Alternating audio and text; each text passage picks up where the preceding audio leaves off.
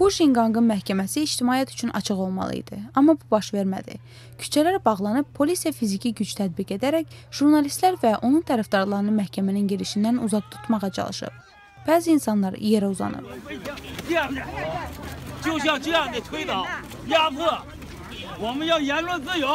Baxın, biz belə əzilirik.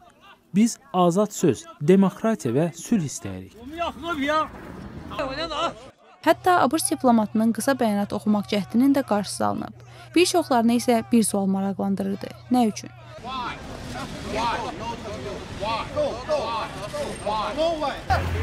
Polislər asayişi qoruyub saxlamağa çalışdıqlarını deyir, amma onların davranışı tam əks nəticə verdi. Onlar diqqəti Çində söz azadlığına qarşı tənqidlərə qarşı daha çox artırdı.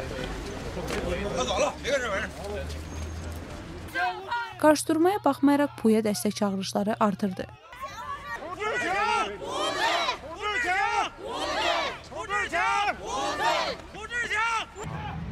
Putin Puçindəki insanların adından danışır. Onun günahkar tanınması demokratiya və qanunvericiliyə ziddir.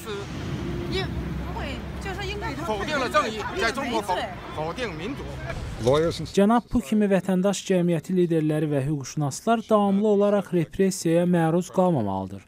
Əksinə, onların inkişaf edən və sabit Çin qurmasına icazə verilməlidir. Pushinqanqın məhkəmə prosesi 3 saatdan biraz çox davam edib. O bu müddətdə müqəssir olmadığını və onlayn paylaşımlarının qanuni olduğunu iddia edib. Punun vəkilləri hökmün bu yaxınlarda çıxarılacağını deyir. Vaşinqtona Nəzə Görzadə, Amerikanın səsi.